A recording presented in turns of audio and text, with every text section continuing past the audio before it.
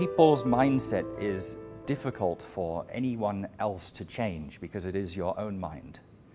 But I think one of the limiting factors with changing of mindset is customer needs evolve very quickly.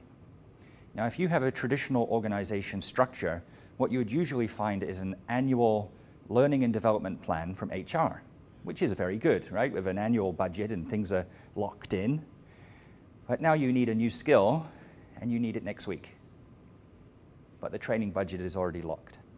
So I think the closing of mindset is really sometimes people are afraid because they don't have the foundational knowledge and they can't get the foundational knowledge. And so they might feel as though they're going in blind and now they're apprehensive.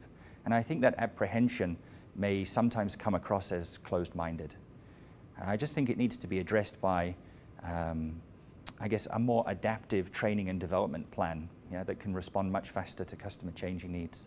I think it requires reframing the recruitment process when you are in an organization that is building products and services that have been existing for five years or 10 years, it's very easy to ask for someone who has built it before.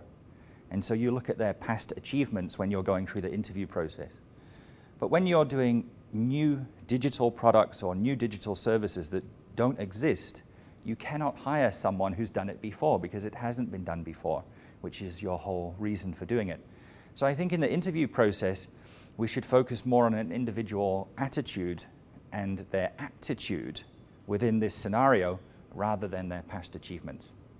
And so what I would do is I would frame the, the interview from the standard questions, where do you see yourself in five years, and those sort of things, to two, two important questions.